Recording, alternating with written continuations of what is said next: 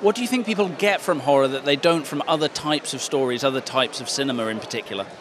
I think that horror kind of reminds people that, uh, especially with a character like Jason, that uh, that death is pursuing us all, and we imprint on a character that I think reminds us of that. And uh, you know, I'm fortunate that uh, a lot of people uh, identify with uh, Jason. So I think that's what horror does. It reminds us all that we're we're being pursued by death. And of all the horror icons, why do you think Jason remains one of the biggest and most timelessly popular? You know, it's he. He is the silent killer. He doesn't talk. He's just uh, keeps coming. Uh, you never know when to expect him. Uh, you, you, you, you run away, you run away, you think you've lost him, and all of a sudden he's in front of you. So he has uh, something about him that uh, I think is unique to that to that character. Of course, I mean visually, um, the mask and the machete is such iconic imagery. Um, can you talk about how it felt the first time you put it on? Um, actually, the first time I put it on was in uh, uh, was in uh, Friday the Thirteenth Part Eight. Jason Takes Manhattan, and uh, I was the stunt double. And uh, so, you know, I had worn costumes before, and I didn't think much of it uh, until I did Freddy versus Jason, and I had like Bryan Singer, who, if you don't know, is you know, a very famous director, and he was directing X Men, I think, at the time. And uh, he showed up on set when we were filming out at uh, the lake that was doubling for Crystal Lake, and uh, just show, it's a long drive outside the city.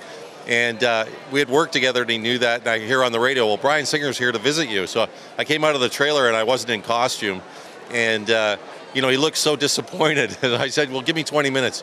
So I, I put on the costume, and then I, I, he was looking at my trailer, so I snuck out of my trailer, and I snuck around behind him, and I came up walking in character up to him from behind. And he was like a little kid. He's just like, oh my God, they got the face right, they got the head right, they got the mask right. And uh, so, you know, when it makes that kind of an impression on somebody who's that involved in the film business, uh, you, you know it's a big deal. Of course, I mean, a lot of uh, horror monsters move very quickly. You feel like you couldn't run away from them. But Jason seems to have an uncanny knack of moving incredibly slowly, but yet somehow always beating people to wherever they're trying to get. You know, that's part of the, the, the whole death pursuing you thing, right? You, you, you know, you think you've beat it and, it, and it's still there. And, uh, you know, no matter how fast you run from it, it's going to be there. So, uh, yeah, it, it's, I think, something that is very unique to Jason and, and that people can identify with. Sometimes the horror genre uh, gets a bad rap. You know, people say that it, you know it's a negative influence on young people and all this kind of stuff. How do you feel about that kind of criticism of the horror genre? You know, I think anything can influence people in a bad way if, you know, depending on the person. But in general, I, you know, I don't really feel that way.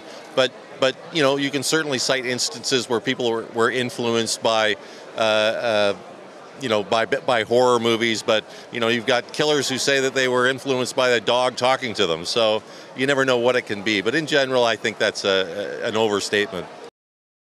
You've been meeting a lot of fans, and when fans do meet you, what are the most common questions they want to know the answers to? What do they ask you about?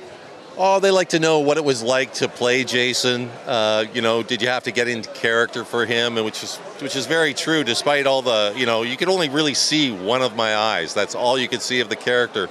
So if you're not in character underneath all that, it still shows through. So, uh, and they like to know what it was like, of course, to work with Robert Englund. And I always say he was, you know, he's the Vincent Price of our times. He's such a gentleman, and uh, really took me under his wing right away when we first met. He goes, he goes, we'll be seeing each other for the rest of our lives. And I, I said, why? And he goes, conventions. um, and uh, you know, the, I, I, I think those are, are two of the big ones. Yeah. Of course, I mean, Freddy vs. Jason was the meeting of the two undisputed icons of the horror genre. I'm curious, do you have any particular fond memories from set? I mean, like you say, Robert, obviously an absolute pleasure to work with. Um, I think, you know, walking on set the first night in costume for the whole crew to see and, uh, and really kind of pulling off the movement that we wanted for the character. Uh, I think that was, uh, you know, getting my first night under my belt. I remember that.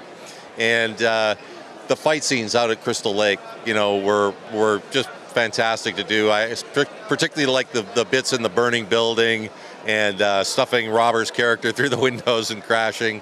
Um, you know, it was uh, it was all in all, and working with the cast too. They you know they they really enjoyed being there, and so you know the, it, the whole thing was a great experience. Ronnie Yu was, you know, uh, English wasn't his first language, but he came into it with you know just such zeal. Uh, he was really fun to work with. He really put his whole his whole self into the movie. Well, I'd love for people to go see Joyride 3. I get to play Rusty Nail in that, and uh, I have a movie coming out called Blackburn, which I'm not sure when that's going to be released yet, but uh, it involves uh, my good friend Brad Loree, who played one of the Michael Myers, and uh, was directed by a stunt guy turned director, Lauro Chartrand, who did a great job. So they can look for that. I have a message for all the fans out there who love Jason and hope that he keeps on coming after them for many, many years to come.